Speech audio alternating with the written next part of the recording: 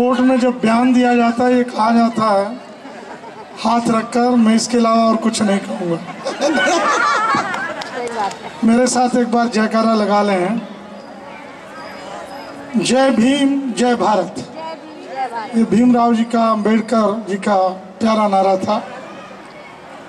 बाबा भीमराव अंबेडकर प्रकाश उत्सव कमेटी के अध्यक्ष ब्रह्मपाल जी जोगिंदर जी देशराज जी मन संचालन कर रहे हैं दोनों मिलजुल कर घनश्याम गौड़ जी हमारे साथी आशा जी विक्की जी शिवराम गौतम जी तरुण जी भी यहाँ थे शायद।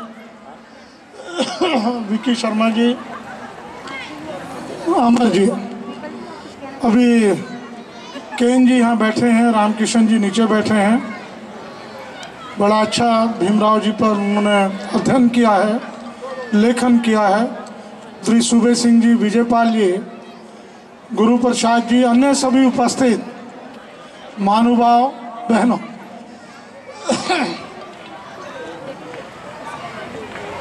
आज से 127 वर्ष पूर्व, माँ भीमाबाई गोदी में एक बालक आया। मध्य प्रदेश, इंदौर की धरती कोई नहीं जानता था ये बालक बड़ा होकर भारत की आत्मा बनेगा। अगर मानव के शरीर से आत्मा को निकाल दिया जाए तो कुछ नहीं बचता, वो मिट्टी हो जाता। है अगर भारत के शरीर से भारत का संविधान निकाल दिया जाए तो कुछ नहीं बचेगा, भारत मिट्टी रह जाएगा ये वो संविधान है जिसकी छत्र छाया में हम एक एक दिन जी रहे हैं एक एक सांस ले रहे हैं। ये वो संविधान है जिसने भारत के उन नागरिकों को सुरक्षा प्रदान की, स्वतंत्रता प्रदान की, जिनको बहुत सताया जाता था। और ये वास्तविकता संविधान जब बाबा अंबेडकर जी ने लिखा और ये कटु सत्य उसको लिखते वक्त नेहरू जी से, महात्मा गांधी जी से, सरदार पटेल से कई बार उनके मतभेद हुए। उन्होंने ये भी कह डाला, मैं संविधान समिति से इस्तीफा दे दूँगा, लेकिन झुकूँगा नहीं। आखिरकार इन नेताओं को मानना पड़ा। अंबेडकर जी की बात को मानना पड़ा। और आज जब उस परिप्रेक्ष्य में देखते हैं उस संदर्भ में देखते हैं। बाबा साहब बहुत ठीक थे, बहुत ठीक थे, बहुत ठीक थे। उनकी जयंती को मनाना, उन पर कोई एहसान नहीं है कि हम 127 वर्ष बाद भी बाबा साहब आपको याद कर रहे हैं। हम याद कर रहे हैं इसलिए कि इस संविधान को बनाए रखें, इस संविधान की निर्मम हत्या ना होने दें। इस संविधान के अनुसार इस देश को चलने दें। और यही वो संविधान है जिसने हम सबको जोड़ के रखा।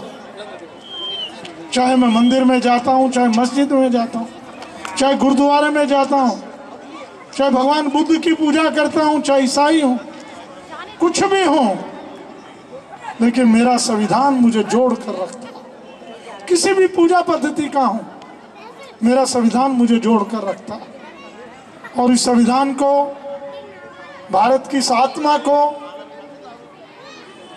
आज बाबा साहब के जन्म दिवस पर इसकी सुरक्षा करने की हम सौगंध लें। किसी भी कीमत पर हम इसकी सुरक्षा करेंगे। कुछ स्वार्थिक राजनीतिक दल अपने हित के लिए, अपने वोट बैंक के लिए संविधान में जब जाए तोड़ मरोड़ करने का प्रयास करते चाहता हूँ, हम जागरूक रहेंगे तो किसी की हिम्मत नहीं कोई इसमें परिवर्तन कर सके। अंत में अभी केन जी ने एक पुस्तक दी, देना जरा ये पुस्तक। मैं कहना चाहूँगा, जोगिंदर जी से भी, अभी मैं बैठा था, ये पुस्तक उन्होंने मुझे दी। मैं जोगिंदर जी से, सब साथियों से, टीम से कहना चाहता हूँ कि ये जो हमारे बच्चे हैं, जो पीढ़ी है इनकी प्रतियोगिता करवाएँ दो दिन पहले, एक दिन पहले। भीमराव जी का कब जन्मदिन हुआ? कहाँ पर हुआ? उनके माता पिता जी का नाम क्या था? संविधान कब लिखा? वो कहाँ पढ़े? किसने उनको अमेरिका भेजा? सारा इस पुस्तक में है। सारा इस पुस्तक में। तीन दिन पहले प्रतियोगिता करवाएँ समाज में। ग्यारह, बारह, तेरह अप्रैल अगले वर्ष और चौदह अप्रैल को जो बच्चे प्रथम आए उस प्रतियोगिता में, इस मंच पर उनको सम्मानित कर। तब तो बाबा भीमराव का विचार कौन थे वो? मैं इन बच्चे जो बैठे हैं, अच्छे बड़े बच्चे बैठे हैं, इनसे भी पूछने लगे, पता नहीं लगे। वो भीमाबाई का बालक भीम बना और भीम से भारत की आत्मा बन गया। बहुत लंबा इतिहास है। वो इतिहास हर बालक के हृदय में आना चाहिए। पाठ्य पुस्तकों में उतनी जगह नहीं मिली। बाबा भीमराव को। यह दुर्भाग्य रहा हमारा, लेकिन जगह मिले।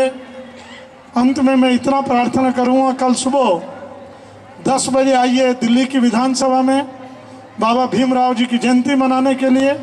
केजरीवाल जी भी वहाँ होंगे, आप सादर आमंत्रित हैं। कोई पास की ज़रूरत नहीं, किसी प्रकार की कार्ड की ज़रूरत नहीं। खुले आइए।